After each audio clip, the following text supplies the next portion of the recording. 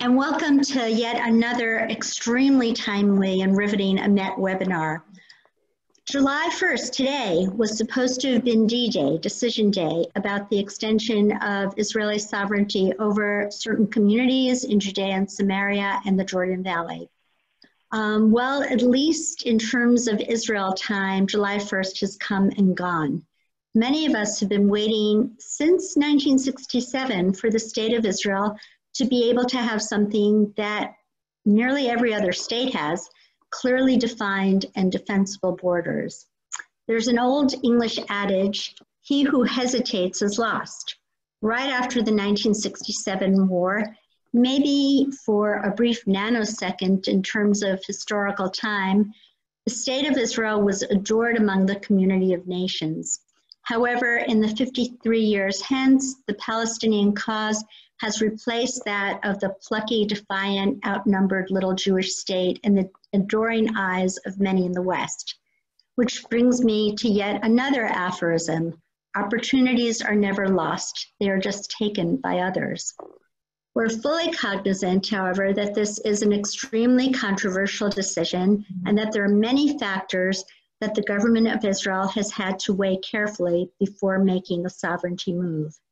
Here to speak about why this move is so critically important for the state of Israel and the United States and the West is David Wurmser. And here to tell us a little bit more about what's been going on behind the scenes to put the brakes on this move is Alex Traiman. David Wurmser is an old and very dear personal friend um, he is currently the director of the Project on Global Anti-Semitism and the U.S.-Israeli relationship for the Center for Security Policy. He has over 35 years of experience in foreign policy with State Department, Department of Defense, the National Security Council, and the American Enterprise Institute. He is well, he's a well-known expert on Middle East issues, especially on the U.S.-Israeli relationship. He had worked um, from December 2018 to September 2019 as a senior advisor to U.S. National Security Advisor John Bolton and was um, credited with authoring a series of memoranda for the White House for striking hard at the Iranian Quds Force and target, targeting Qasem Soleimani. Thank you very much for that, David. David also served as a Middle East advisor for Vice President Dick Cheney from 2003 to 2007, among other things. And many of you who have been in attendance during these MET webinars throughout the days of the pandemic and the subsequent quarantine have grown to know and appreciate the wisdom and the up to the minute behind the scenes knowledge of Alex Traiman. Alex Traiman is also a dear friend to EMET he is the managing director and Jerusalem bureau chief of JNS.org. Alice has had his finger on the pulse of everything that's happening in Israel and within the Israeli Knesset. He has written scores of articles and has directed and produced major films um, such as the critically acclaimed Iranium and Honor Diaries. Without further ado, we'll begin with David Wurmser, who will talk about the importance of this move. David? Thank you, Sarah, and uh, thank you, EMET, as an organization, for being so on the, out front and, and uh, really carrying the water for everybody. So I really appreciate the organization as well as personally everything you've done. We were talking about it earlier for the last 20, 30 years, uh, Sarah. So thank you. Now, on to uh, what is commonly called annexation, and I want to start with that word because I think it gives the importance of it. Um, if, you know, in the Western press, it's annexation, annexation, annexation, which if you open a dictionary, it's essentially when somebody assumes the territory that does not belong to itself. You have a you have an agreement, there's an annex. The annex is not part of the agreement, it's added to it. So annexation is considered sort of the connotation of it already betrays something. And I think we all know this. It's it, it goes back to the core why we call it the West Bank and not Judea and Samaria? Because the word Judea, it's kind of hard to say you can't allow Jews to take back Judea. Uh, uh, we're putting the Judea, Ju Judea back in it. Um, anyway, so the point is, I think we have a very serious issue here. First of all, with terminology, because it's changed the narrative. And I think that betrays a larger problem. The larger problem is you have the 67 war, Israel takes the Temple Mount. And since the day Israel took the Temple Mount, I think that it's essentially been on the defensive and it's allowed itself to be whittled away and it's slowly allowed itself to lose control of the situation. It started with the very few minutes of having taken the Temple Mount when Moshe Dayan asked for the flag, the Israeli flag, which had been raised over the Dome of the Rock, to be removed. And one can argue the wisdom of such things and so forth. But the problem was that wasn't a one off, that was the beginning of a trend. The trend essentially wound up in Oslo, where the narrative had fundamentally shifted by taking the PLO, bringing them into Israel or into, the, into Judea and Samaria, Gaza. You essentially brought an organization dedicated to the terms of 1948 rather than 1967. This wasn't anymore about self determination or freedom or human rights for people who lived in the West Bank and Gaza.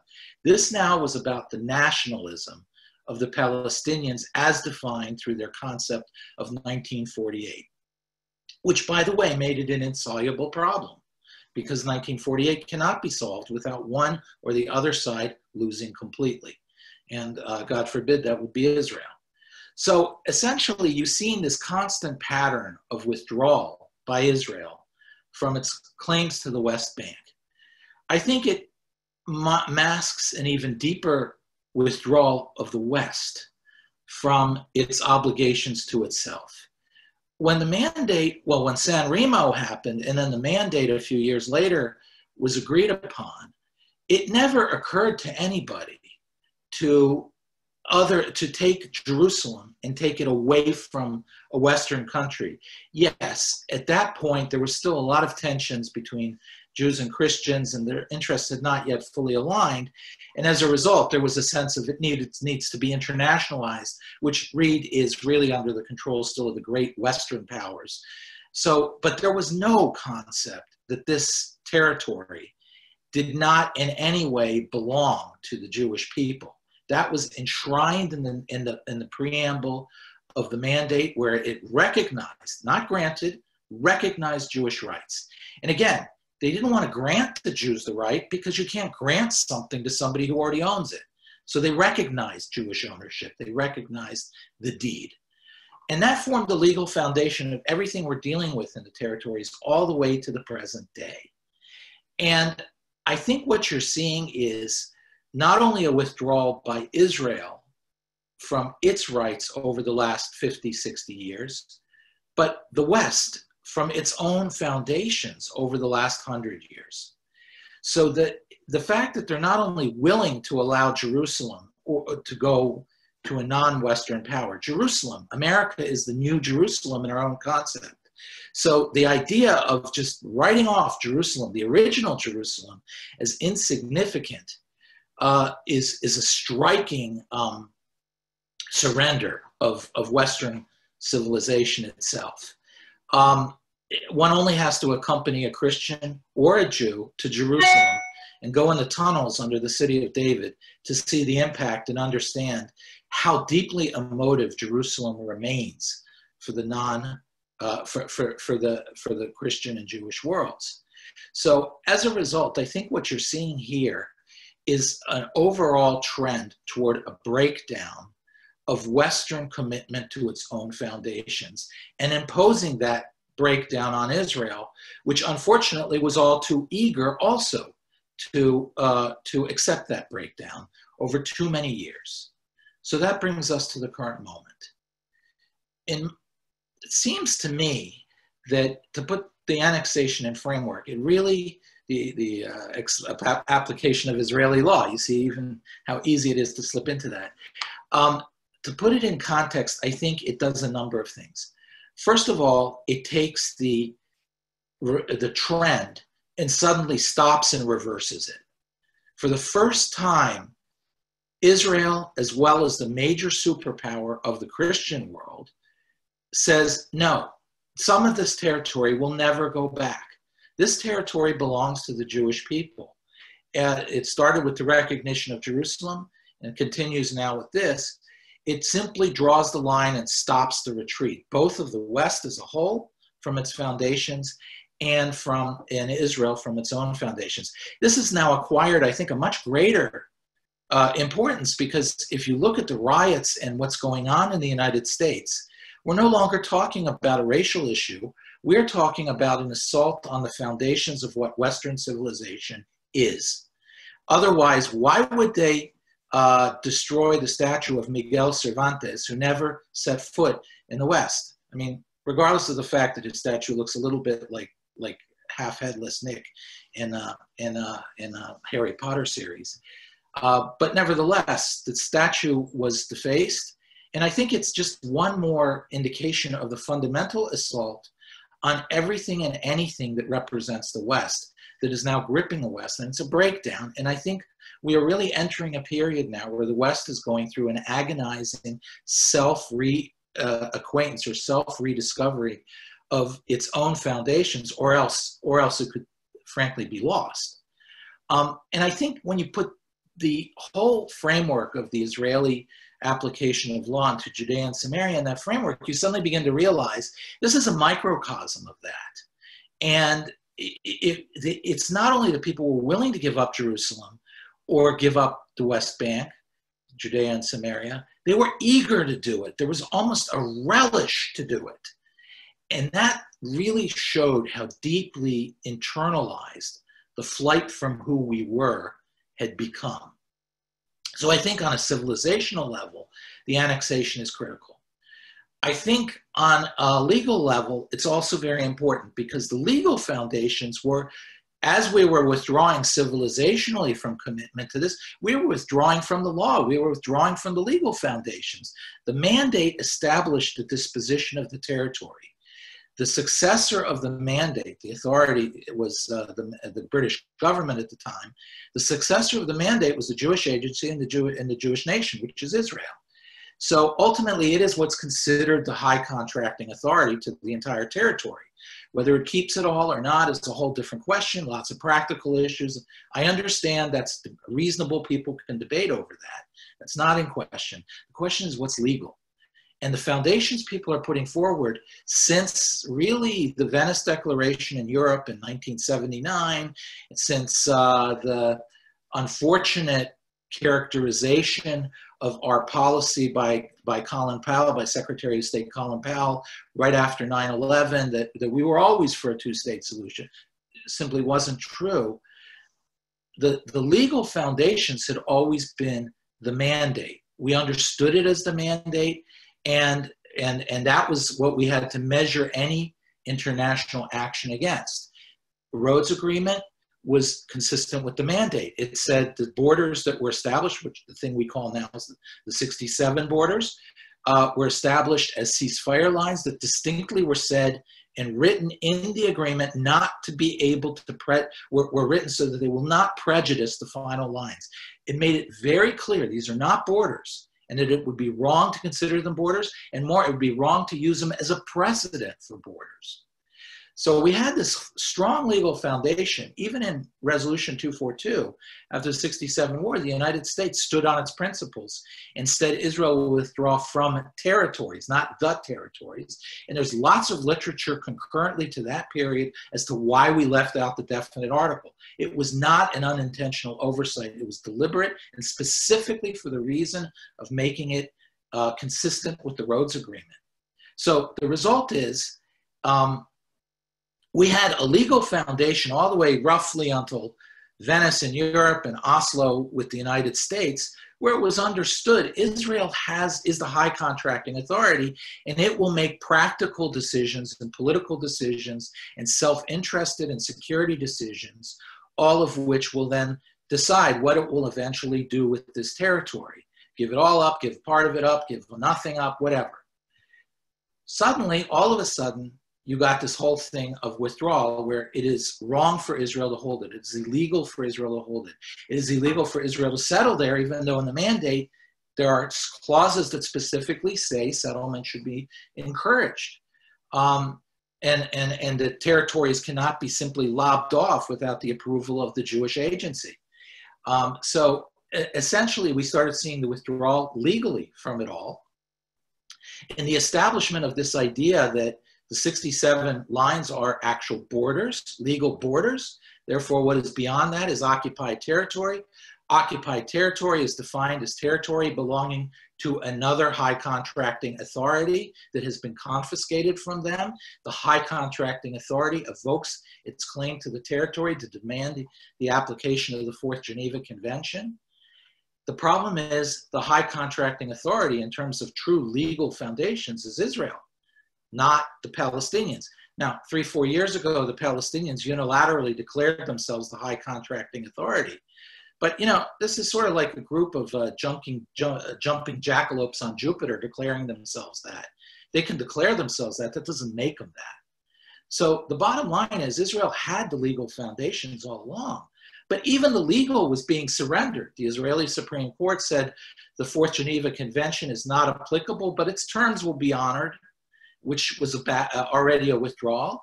And then you have on and on and on, all the way to, the pre- to President Obama, the December 2016 UN resolution, where essentially called it all occupied territory under the terms of the Fourth Geneva Convention.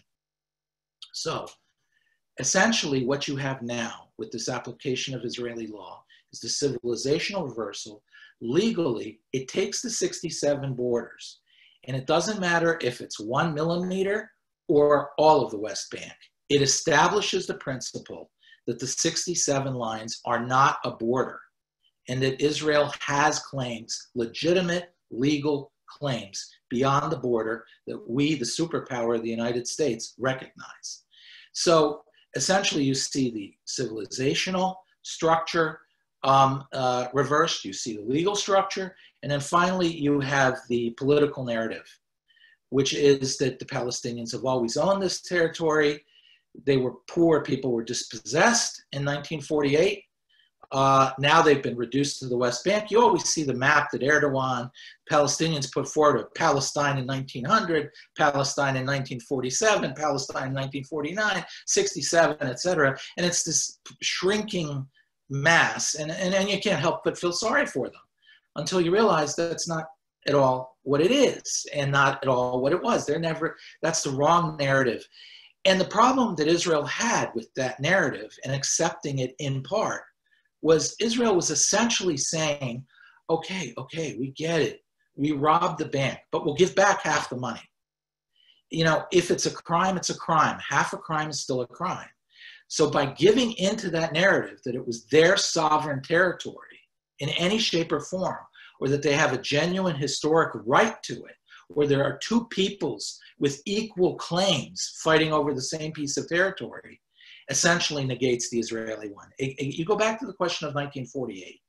If, if they have a legitimate claim, Israel can't, can't exist. If we have a legitimate claim, they can't exist unless we accept their existence.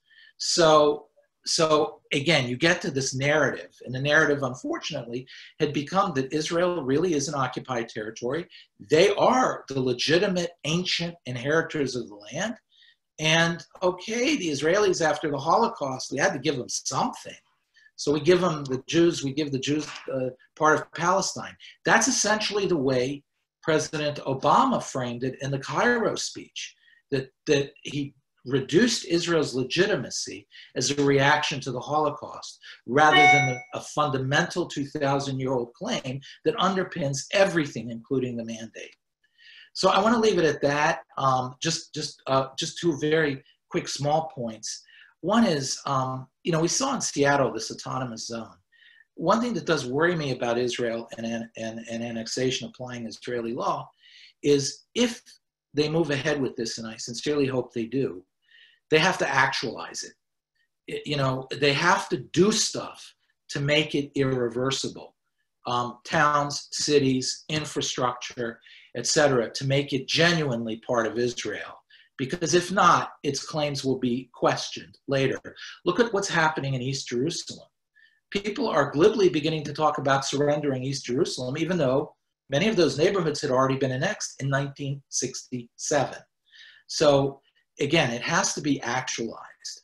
Um, and two, the idea that Israeli sovereignty is applied but can be kind of suspended, like on the Temple Mount, I think, uh, I think no nation should tolerate this within its borders, uh, not in Seattle, and, and I don't think there either because we see there is no status quo on the Temple Mount. Whatever latitude is given to this quote autonomous entity up there uh, under Israeli sovereignty, every day is removed from Israel. And every day, by the way, its history is erased by destruction of archaeology. So I, I think that, again, to reconnect civilizationally, legally, um, and narrative wise, autonomous zones don't do it. So I'll leave it at that and dominated too much already. Sorry.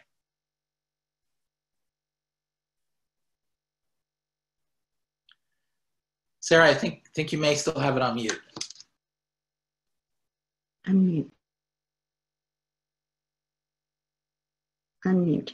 Um, thank you so much, David. I love the way you put this in a civilizational context and the fact that we're seeing a corrosion of the moral authority of the West and all of our institutions right now. You know, where, where statues of um, Ulysses S. Grant um, and of Abraham Lincoln are tumbling um, at this moment. You know, there is absolutely no no respect for any of our foundational institutions. Um, and we, you know, Israel is not immune from this at all. And we see this whole, you know, intersectionality and the intersection between academia and the fact that, you know, we, in, in American institutions are, are blaming America first for um, the sins of colonialism, et cetera, and not respecting any of the great contributions of Western civilization. So going to from the very, very macro level to the behind the scenes micro level, what's going on, Alex? Why, why have the brakes been put on um, within the government of Israel, today was the day that we actually thought there would finally be some action on the ground. Phyllis. Okay. Thank you so much, Sarah. Uh, I think that uh, something that many things that David said uh, that I'd like to touch on, but one I think is very important is narrative and uh, using the word annexation versus the application of sovereignty, and also looking at July 1st as D-Day uh, is is part of a narrative that's been set up, I think, intentionally to try to make uh, Benjamin Netanyahu look bad. Once it was clear that July 1st would not actually be the day in which application of sovereignty would be applied. Now, July 1st was uh, the day of interest for observers because uh, the tenuous coalition agreement that was signed between Benjamin Netanyahu and his challenger, Benny Gantz, who eventually joined a unity government alignment. Uh, July 1st was the date that was put in the agreement as the first date in which Netanyahu could advance the application of sovereignty. The reason this happened is because Benny Gantz was not certain that he wanted uh, sovereignty to be applied in Judea and Samaria. And at the same time, there's a mapping process which is taking place, a joint mapping process of six men uh, three Israelis and three Americans, including uh, Prime Minister Netanyahu and Israeli ambassador to United States Ron Dermer, uh, and on the uh, Israeli and on the American side, also including uh, Ambassador uh, David Friedman and Scott Leith, who's currently in Israel right now, and and also. Also, Aryeh Lightstone, who's the assistant to Ambassador Friedman, and they engaged in a very complex mapping process. Uh, anybody that saw the press conference between uh, President Trump and Prime Minister Netanyahu in January saw this map, uh, which was called the conceptual map, which more or less drew a line around where the Palestinians currently control territory. Uh, but within that map, there were 15 different enclaves, Israeli communities uh, that are more or less surrounded by areas that could be held aside for a Palestinian state should Palestinians meet those requirements and should Israel and the Palestinians negotiate an arrangement, a final status arrangement in the future. So Israel's agreeing to hold land on the side for four years, which is approximately half of the area C which it currently controls, uh, for the possibility that there may be final status negotiations later. But within that, Israel's saying we're not going to evacuate settlements. That's that's no longer on the table. You know, as David alluded to, Israel evacuated the Gaza Strip, took out 21 different communities and 8,500 settlers from the Gaza Strip, and in return got something like 8,500 rockets. Uh, so in Judea and Samaria, where you have 400,000 settlers, and David, you talk about having like real facts on the ground, there are 400,000 Israelis living in Judea and Samaria in over 120 settlements. And Israel saying we're not evacuating settlements. It's just it's just not it's not proven that withdrawing and evacuating uh, settlers leads to peace. So we're not doing that. Okay, so now what do you do? Well, the U.S. Peace to Prosperity vision basically tries to canonize the facts on the ground as they are and say that's the end of the conflict. We draw a line around where the Palestinians are, and we draw a line around where the Jews are, and that's it. And not only that, we incentivize the Palestinians with $50 billion worth of infrastructure to make their lives easier for them to accept that the situation as it currently is is the end of the conflict forever. Okay, so how do you determine where those borders are? Well, and especially when you have 15 different uh, Israeli enclaves that are basically surrounded by what would be Palestinian territory. And you also have Palestinian villages which are surrounded by territory that would remain in Israel's hands. So, in particular, figuring out the precise delineation of those borders in the future is happening now. And it's happening in a joint process between the Israeli administration and the US administration. Now, something happened between the formation of that committee and today, which is coronavirus. Uh, and coronavirus sapped the attention of both administrations. There's still, both countries are dealing with the pandemic crisis. Uh, and at the same time, the ability of the Americans to travel to Israel and for the Israelis to travel to the United States to explain what they're doing has been severely limited. Uh, so the mapping process, which was supposed to be finished around July 1st, is not finished. It's almost finished, but it's not completely finished. Now, because it's not finished and because because Israelis understood that the process is not complete, they're actually using the date as a pivot to try to suggest that Netanyahu can't get the application of sovereignty done. But if you talk to people inside the prime minister's administration, you talk to people in the US administration, they both say that the mapping process is continuing full steam ahead, but it's going methodically and carefully. And, and anybody that, and people are trying to create different narratives that the reason why Netanyahu can't get it done is because of Benny Gantz and Gabi Ashkenazi. And it's true that Benny Gantz and Gabi Ashkenazi have been wavering in their support of the application of sovereignty. Uh, however, their support for the application of so- sovereignty is not a prerequisite. It is certainly preferable if the defense minister and the foreign minister support sovereignty, and the coalition agreement between Netanyahu and Gantz specifically stipulates that Netanyahu can advance sovereignty. So Gantz signed on the dotted line for that. Gantz also told the president of the United States to his face in January that he supported the peace of prosperity vision. Gantz also told the electorate in the run up to the elections that he supported Israel's application of sovereignty in the strategic Jordan Valley. So now, if he's sort of wavering on those promises that he made to Netanyahu, to the American president, and to the Israeli public, it kind of just demonstrates that he may not be the loyal coalition partner that he claimed to be when he was going into the unity alignment. At the same time, there are various reports that uh, sovereignty is being held up because of Jared Kushner or because the president is waffling on it. Uh, Jared Kushner just sent his advisor, Avi Berkowitz, to Israel together with Scott Leith immediately after a three day visit by Ambassador Friedman to the United States, where he met with Kushner specifically to discuss uh, the mapping process as it stands now and the application of sovereignty. And, and as I mentioned, as it seems, uh, the two administrations are working on what is a very complex and sensitive process uh, but things don't necessarily go according to plan as everybody can see by the crises that have developed with coronavirus and the black lives matter movement in the united states like In the Middle East, nothing happens until it happens. Okay. And the application of sovereignty may not 100% happen. I, I, mean, any because anything is possible. However, all indications at present are that the process is moving forward as initially outlined, and we are expecting that the prime minister will make an announcement within the next several weeks. And all indications at present are that the president of the United States will support it. Right. All right, I'm going to um, take the liberty of asking you both the first question, and this one's a tough one.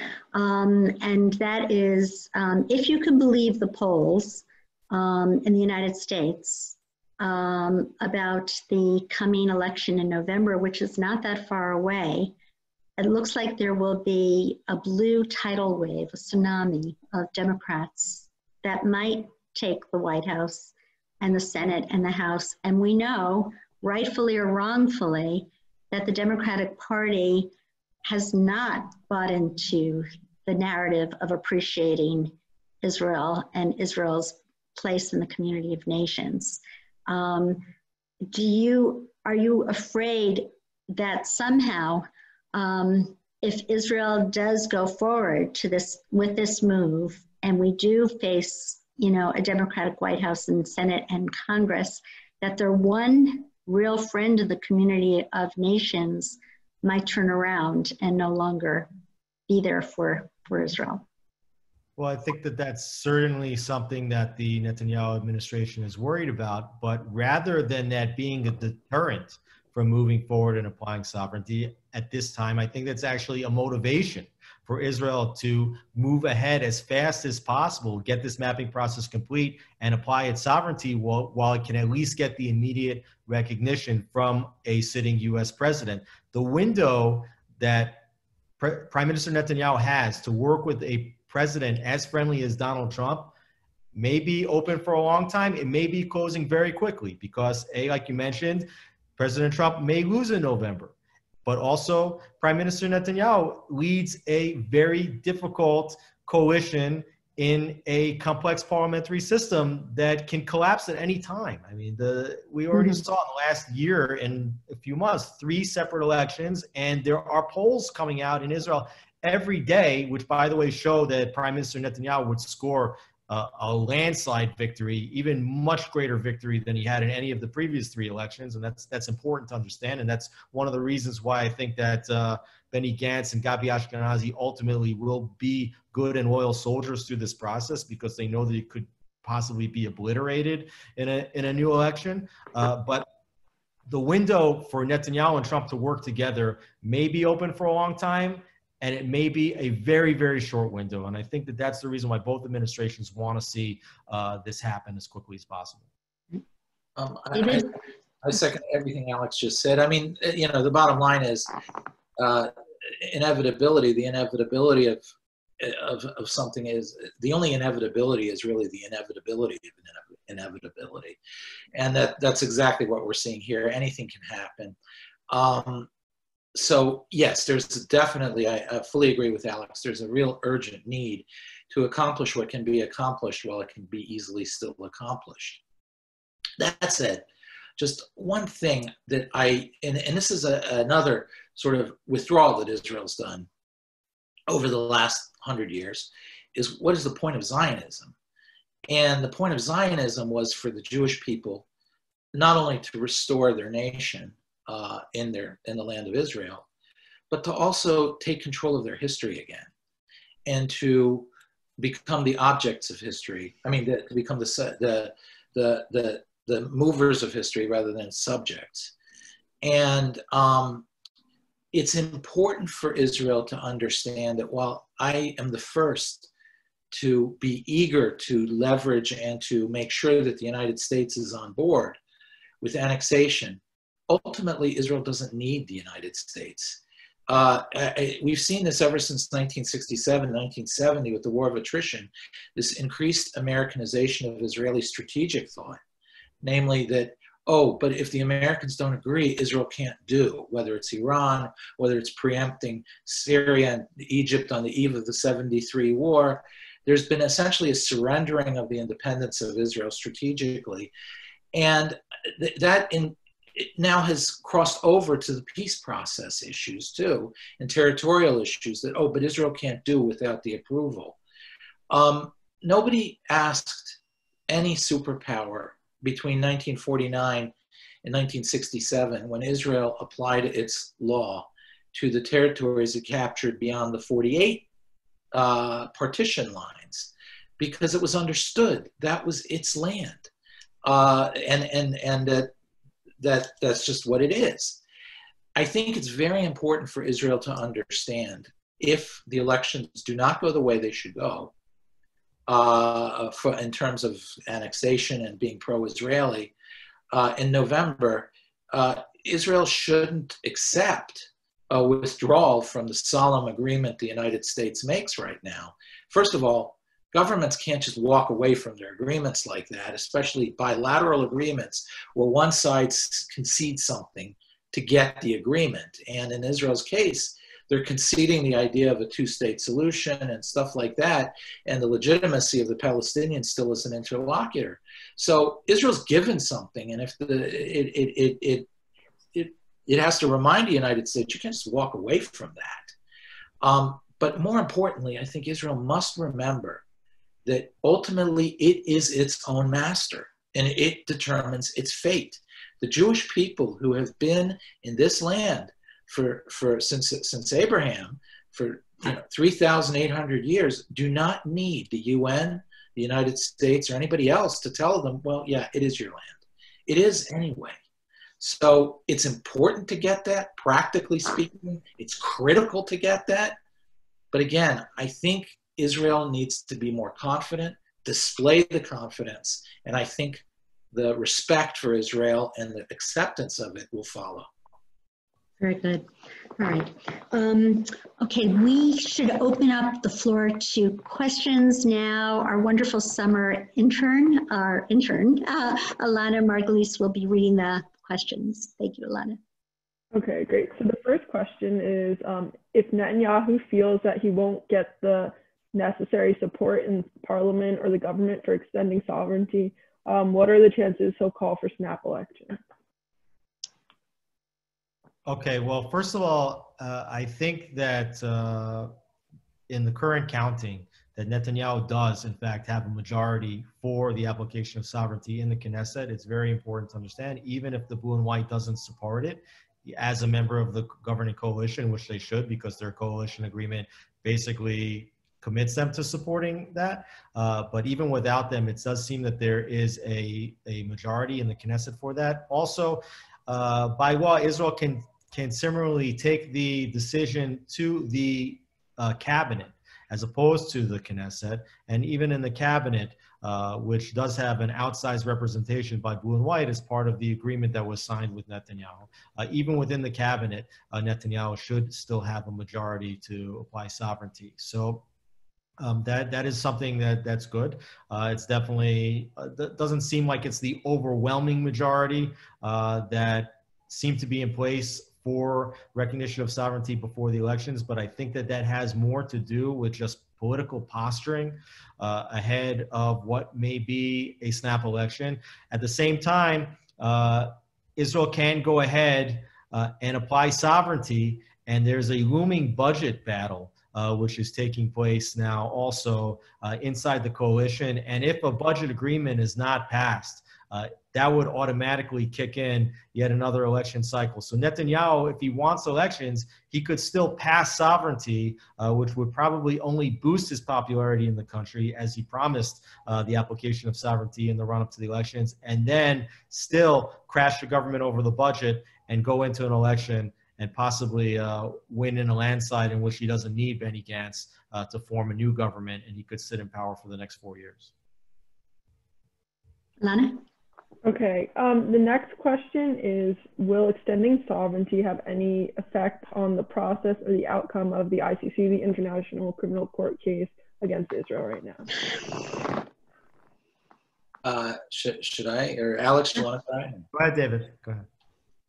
Uh, no, because I think the process is cooked. I mean, Israel could give up every inch and it'll still, it doesn't matter. This is not an objective process based on facts. It is I mean, I'll go as far as to say it is an anti Semitic attack. And you can't negotiate, compromise, or come to some sort of an understanding with an anti Semitic attack.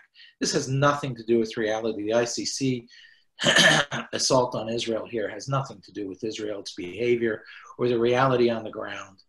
Um, it has to do with who is currently running it, this lady, uh, Bensouda. So, you know, it, it really, I don't think it has any impact um, at all. And at the end of the day, not the United States is not part of the ICC anyway. So, no, I don't see it.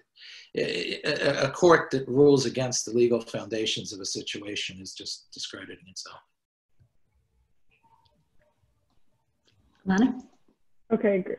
Um, so the next question is about the status of Palestinians um, should um, extension of sovereignty happen. So the question is, uh, will Palestinians become Israeli citizens or where, will there be a pathway to citizenship? And if not, what their legal status would be?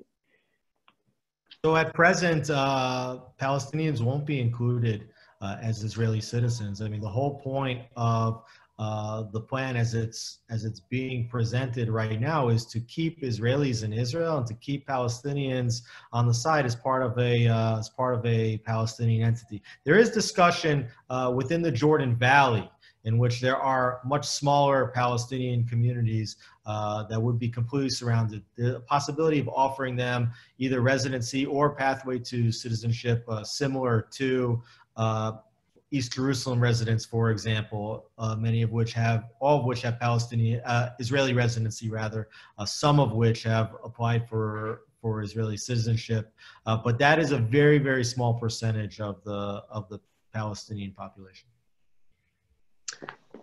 Yes, um, Lani. Um, okay, I'll try to speak closer to the microphone. Um, so, uh, why did Netanyahu pick July 1st as the day to as the first day for him to apply sovereignty and what is its significance? Why not wait until after the summer? Right. I think that that was the date in which the U.S. and the Israeli teams felt that the mapping process could be finished at the earliest. So the idea was that that would be the first day in which Netanyahu could bring it uh, to the either the cabinet or the Knesset for a vote, and that was basically to allay Benny Gantz's fears that uh, Netanyahu would work on the diplomatic issue of sovereignty as opposed to uh, girding the country against the coronavirus pandemic. Uh, you know, so just to put priorities first and second. But, but there's no holy grail of July 1st. Um, but now, as, as I've just written to be published later, I, Israel's on the clock. Uh, to to apply sovereignty. It's not that this was the deadline. This is the this is the beginning. So I do think that the real window closes, uh, you know, before November because really we want this to happen uh, with a sitting president and not with a lame duck president in case the president loses in November. They want this to happen before then. Um, and really the sooner the better. And specifically with uh, all the all the noise around the world dealing with coronavirus and, and all the other issues, now might actually be a perfect time to do this because it's it's obvious that uh, the opponents of such a move are going to be vocal. They've already been vocal, but the news cycle today is moving very quickly, and there are numerous, much more important issues to worry about. Aside from whether Israel applies its sovereignty over land it already controls. I mean, the whole idea of annexation as a concept is being thrown out as part of, of a narrative warfare, as, as David uh, was talking about the narratives, to sort of symbolize uh, or to suggest that Israel is going to be marching over a line where it hasn't already marched, or hanging a flag in a place where it hasn't already hung. There's 400,000 people living there. Israel's not going to deploy a single soldier or tank in order to affect this application of sovereignty. In fact, for all the Palestinians and all the Israelis that live on the ground, they're not even going to notice the change. There's going to be zero change on the ground, not even the hanging of a sign. Uh, you know, so hopefully, if this does take place soon, while the world is distracted with a lot of more important issues, uh, it will move out of the news cycle more quickly. Lana? Um, okay, we only have time um, for one or two more questions, um, but the next question is uh, says that Um, there are threats from Lebanon and Gaza that uh, should Israel extend sovereignty, they will attack Israel. How likely is this to happen? And can Israel handle um, two fronts uh, with riots in the West Bank and also from Lebanon? Um, yeah, I, I uh, uh, first of all, can Israel handle it? Uh, Israel could easily handle it. it. It's all a question of strategy and uh, and its will to act. Uh, even 2006 in, in in Lebanon in 2014, the messiness, the indecisiveness, etc., was all a question of Israeli choices. It wasn't a question of the real power that Israel has. Uh, and I'd assume that with Hezbollah in Lebanon, they they won't they won't let it sort of fester. And I think with this new chief of staff, uh, he's not so new anymore, Kochavi, he has a tendency to focus much more on uh, decisive outcome and decisive uh, tactics and battle and strategy uh, than any before. And I think it's a, a welcome change in the IDF. Uh, as far as will they do it, there's a phrase in Hebrew uh, from a comic strip, not comic strip, but comic play uh, called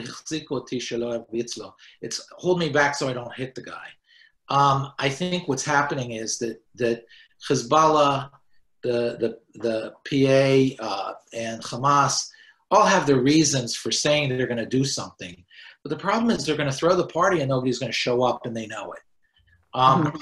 I think that there's a real issue here. I think, by the way, the Palestinian Authority today uh, imposed a full shutdown, lockdown because of Corona, which is which is uh, obviously because of Corona, but it also serves that secondary purpose of making an excuse for people not showing up to riot and to and so forth. So I think I think that that there really is a uh, uh, uh, uh, a lot of noise, but it won't happen. The only one I'm worried about is Jordan, but that's a whole different question and I'm not sure that necessarily needs to be. Uh, I just want to add that I think a very important precedent uh, happened in uh, May 2018 when the uh, U.S. moved its embassy from Tel Aviv to Jerusalem, and there was all kind of threats about the beginnings of intifadas, and there was some rioting along the Gaza border, as everybody uh, cynically remembers them showing pictures of the embassy on the one hand and the Gaza border on the other. But those Gaza riots were going on a weekly basis for months already, and in fact dissipated soon after uh, the embassy was moved. And there was not a single riot that took place. Uh, and, and there are thousands of Israelis. I, I just live actually, you know, just a few hundred meters from the embassy, and I'm looking out my window at at hundred thousand Palestinians living in Jerusalem, and there was no riots over here. So um, there's definitely a lot of threats and, and, and bluster, as David references, but uh, and you can't rule out at any time uh, a, a, rush towards violence because Palestinians have been incited from the times they were children, uh, really, to commit acts of violence against against Israelis, and now that's being done on social media and on television and other means. So you cannot rule out uh, terror attacks, but there doesn't really seem to be uh, too many indications that there's going to be mass rioting here. Okay, um, there's one last question I'd like to um, ask the panelists from Mindy Stein who said she just read that the American administration is seeking that Israel make a gesture towards the Palestinians to offset the application of Israeli law. Um, is that true as far as you know? And if so, what is that gesture and what is that compensation to the Palestinians? Well, I haven't heard about anything specific at present. However, Israel is making a tremendous gesture, which is holding on building in over 50% of the area C in which it controls for four years. There's going to be a four year building freeze in half the land that Israel controls in Judea and Samaria in the odd chance that the Palestinians meet uh, the basic requirements that the United States has laid out for statehood, which includes uh, the the ceasing of all terror incitement, the stopping of the pay to slay terror financing campaign, where the Palestinian Authority pays to uh, terrorists and to families of martyrs, and to completely demilitarize. There's no real reason for Israel to, to do that. I mean, Israel controls Area C. Nobody tells the Palestinians where they can and can't build in areas A and B where they control. And Israel can build wherever it wants in Area C. But Israel is taking uh, taking a commitment not to build in 50% of that area in order to save it in the odd off chance that the Palestinians will meet those requirements. So that's a significant gesture, I believe. Okay. Um,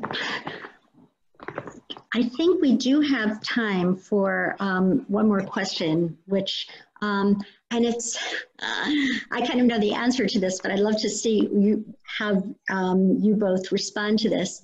How will the um, Arab Gulf states and the other um, Arab states respond to this? Um, just, just one quick thing on the last question. you know, uh, in Arabic, there's no real word for goodwill gesture. in Hebrew, there's no real word for common sense. And I think that, that explains a lot right there. Uh, about the other Arab states, uh, you know, I mentioned Jordan. Jordan is, quote, a friendly Arab state. Uh, although I think, I think uh, King Abdullah has made some very grave and serious strategic mistakes in how he defines his kingdom over the last 10 years. And I, and I think that he has to make a fundamental choice uh, as to where he lands ultimately. I think when you look at the rest of the Arab states with whom at least the United States has good relations, whether it's Egypt or whether it's the UAE or Saudi Arabia or whatever, I think uh, we didn't get into it, but it's a major part of this whole uh, deal of the century. Uh, they may huff and puff and say this and that about, oh, they don't like Israeli sovereignty here and there but they are for this plan and they are for this plan because it does one simple thing. It puts to rest the palestinian issue for them. It ends it they are washing their hands of this through this plan because they want to move on. They need to move on. So i don't think anything that uh, a goodwill gesture or anything else changes that fundamental dynamic. There's a there are bigger fish to fry in the muslim world whether it's sunni shiite whether it's Erdogan versus the Egyptians and Saudis, they are entering a period of, I, I honestly, I, I, think they're entering a period of, of tremendous chaos, breakdown, state collapse, and all sorts of civilizational agony over the next century, half century.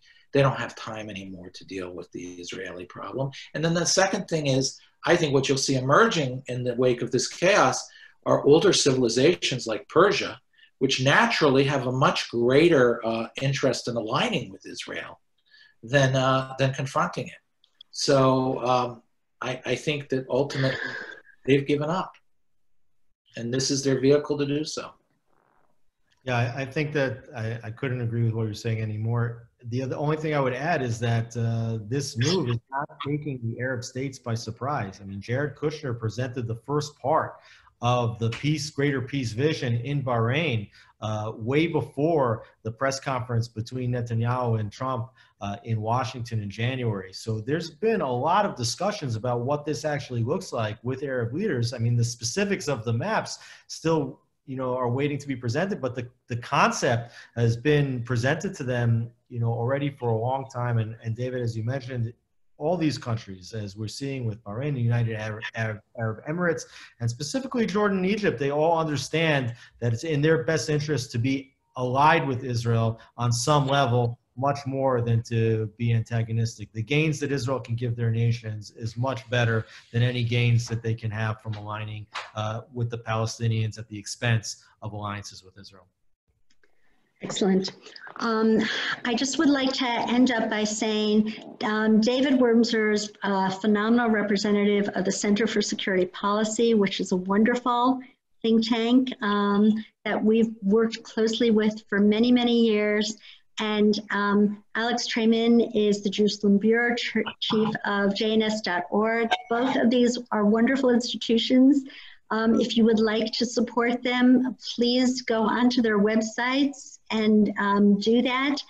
I also was told by my board that I really have got to um, tell people that um, EMET really needs your support. This is our 20th um, webinar. All of these are done as a public service to inform the community. Um, we are a small think tank, but we punch way above our weight. And we do have salaries to pay and rent to pay, and um, we can use any support as well. Um, so please, if you'd like to go onto our website at emetonline.org, um, we would appreciate any, any shekels or dollars that you could send our way. Thank you so much. And um, David and Alex, I cannot thank either of you enough for your brilliance. Thank you. Onward and upward. Thanks. Signing out now.